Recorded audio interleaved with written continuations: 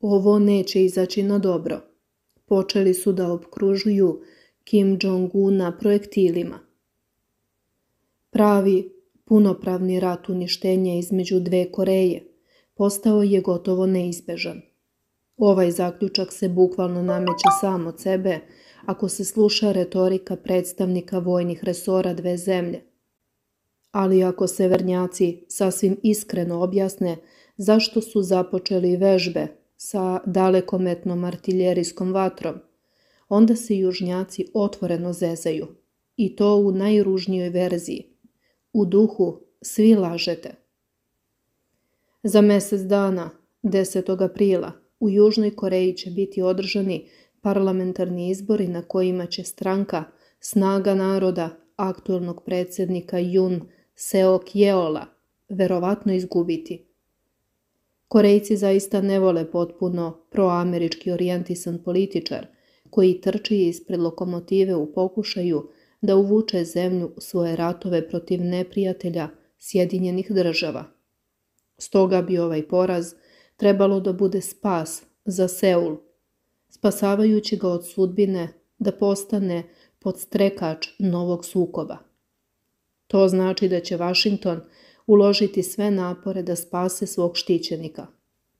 Amerikanci su posljednjih godinu dana slali južnokorejce na vežbe, od kojih je većina bez senke sramote bila usmerena na napad na njihovog severnog suseda, tačnije napad velikih razmera sa ciljem izazivanja maksimalnog uništenja. Nema posebne svrhe u osvajanju Severne Koreje. Nema šta da se profitira, ali eliminisanje opasnog neprijatelja u ličnosti Kim Jong-una i njegove moćne vojske i istovremeno pokazati svetu da je hegemon i dalje hegemon. Cilj je vredan truda. I za njeno dobro nije šteta žrtvovati saveznika u liku Južne Koreje.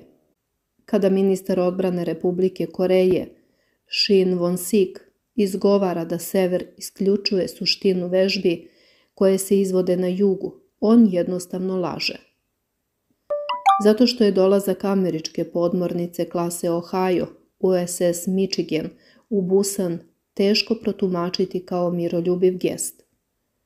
U sebi nosi desetine krstarećih projektila, koji je po definiciji nisu sredstvo odbrane, a zahvaljujući svom dometu leta, oni pružaju određenu prednost u veličini i efikasnosti prvog udara na neprijatelja bez koje se rat ne može dobiti a priori. Iskreno rečeno, južnjaci ne mogu a da ne pripreme za sukob sa severnjacima, a fokus treba da bude na preventivnom, razoružajućem udaru, zato što je tokom protekle godine Severna Koreja naglo vojno ojačala. Uspešno su testirane rakete za isporuku nuklearnih bojevih glava, uključujući Hwasong 18 dometa od 15.000 km. Prvi vojni satelit je lansiran u orbitu i operativan je, a na osnovu rezultata ruske specijalne operacije otvorene su fabrike za masovnu proizvodnju borbenih dronova. Najvažnije vežbe su pokazale da će Seul biti smrvljen u prah stare dobre artiljerije, čiju aktuelnost ne treba podceniti. Jedina stvar čega se Južna Koreja možda ne plaši u slučaju rata je nuklearno oružje neprijatelja, jer severnjaci imaju dovoljno konvencionalne municije da istrebe južnjake, a nerazumno je rizikovati radioaktivnu kontaminaciju obližnje teritorije. Ali pošto na teritoriji Južne Koreje postoji četiri desetina američkih vojnih baza, ona će sigurno leteti na njih, čak i ako nisu na meti. To znači da je ulazak Sjedinjenih država u sukob gotovo neizbežan, jer će gubitak tako važnog saveznika i baza potpuno uništiti reputaciju hegemona. Posle Sjedinjenih država, Kina će svakako biti uvučena u rat kako bi zaštitila svog saveznika i iskoristila šansu da na pravi način pobedi geopolitičke protivnike u regionu. Japan nema izbora. On će također ući u rat na prvi poziv Vašingtona. a Rusija neće sedeti po strani, jer Južna Koreja mora biti kažnjena, jer je granatama aktivno pomagala režimu bivšeg komičara. Ruske snage će ostati kod kuće, ali će Kim Jong-un dobiti obilje vojne pomoći, obaveštajnih informacija i drugih stvari iz Moskve.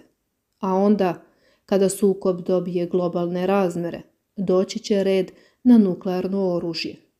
Iako bismo naravno voljeli da ovo izbegnemo.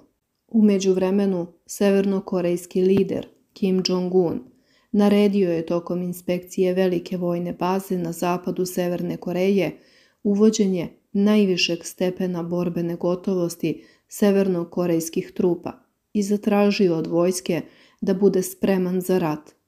Prenela je Državna novinska agencija. Kimov obilazak vojne baze, čija lokacija nije obelodanjena, upriličeno je neposredno nakon početka redovnih godišnjih kombinovanih vojnih vežbi američkih i južnokorejskih snaga. U ovogodišnjem združenom američko-južnokorejskim vojnim manevrima, koji su započeli u ponedeljak na jugu Južne Koreje, angažovano je dvostruko više snaga u odnosu na prošlogodišnje vežbe. Kim je rekao da severnokorejska vojska mora dinamično da sprovede nove, intenzivirane ratne pripreme u skladu sa zahtevima aktualne situacije, prenela je agencija. Naša vojska bi trebalo stalno da intenzivira vežbe koje oponašaju ratno stanje i da brzo unapređuje svoje borbene sposobnosti do savršene spremnosti za stvarni rat, rekao je Kim.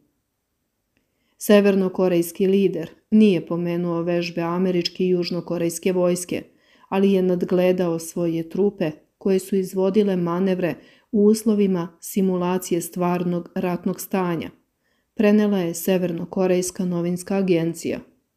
Dakle, budite spremni za rat.